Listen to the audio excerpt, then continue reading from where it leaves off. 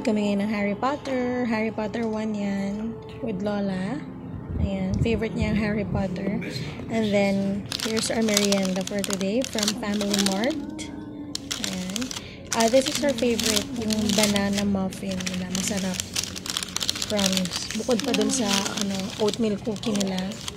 Ito yung isang favorite pa namin. Ayan. Sobrang yummy. Tapos meron pa tayo dito lumpia. yung ating chips. Ayan. Not so healthy, pero minsan lang naman. Ayan. Harry Potter. Nood tayo. Then, kain. Merienda time.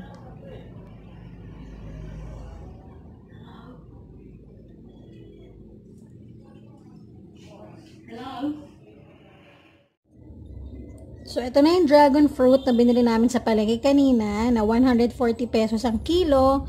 So, this one cost 37 pesos. O, diba? 37. First time kong makakatikim nito, kami, first time namin makaka-try nitong dragon fruit. Uh, ang nakita ko sa TV, in-slice lang siya sa gitna. Sa umagang kay ganda ata yun, in-slice lang sa gitna, tapos kinutsara na nila. So, let's wash the dragon fruit. So, nawash na natin yung dragon fruit. Um, wala akong tatanggalin or anything dito sa labas. Sabi ni ate dun sa palengke na pinagbilhan namin, pwede na daw tong kainin. Kasi sabi ko, ano po ba, hilaw pa ba po yan? Or pwede nang kainin? Sabi, pwede na daw. So, let's cut this in half. Ooh, okay. Wow, nag-color violet din yung aking knife. Ay, medyo hindi ma-justify nung ilaw, pasensya na. Mm, wala siyang masyadong amoy. Pero ganito yon Wait lang. Pakita ko sa inyo. So, this is how it looks like. Parang ang ganda-ganda ng kulay, no? Tapos umawa na dun sa kutsilo yung, pag, yung pagkahiwa natin. Pwede kayang gawing ano to? Lip tint. Anyway, ayan siya. Dragon fruit.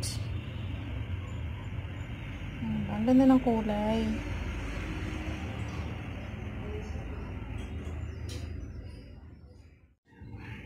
Try natin kung pwede siyang gawing lip tint.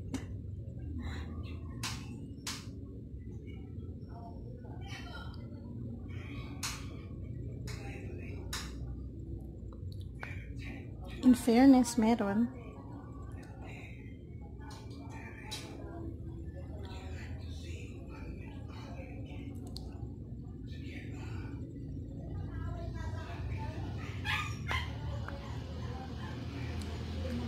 Pwede.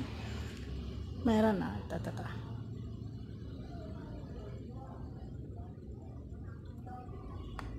Natural lip tint. Galing sa, sa dragon fruit. So, let's this, um, yung isa ay kakat ko pa rin sa gitna kasi apat kaming kakain. Or dito na lang.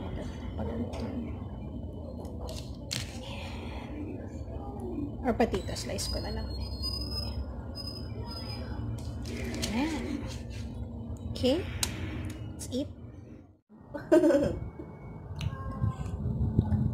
Tikman Ano, matamis? Matabang. Ay, matabang. Sayang, matabang daw. Pwede may asukal, lagyan mo. Ay, oo nga. Para ka lang kumakain na ng ano. Peras. Lasang peras, matabang. Hindi matamis. Maganda yata yung, yung puti. Sana may makita kami ng color white. Matabang. Hindi ako nakakapit. Pero marami ba tong health benefits? Oh, Madami diba? daw health benefits to. I-google nyo na ano, lang guys. I-google nyo na lang. Bakit ano, may parang kulay, ano,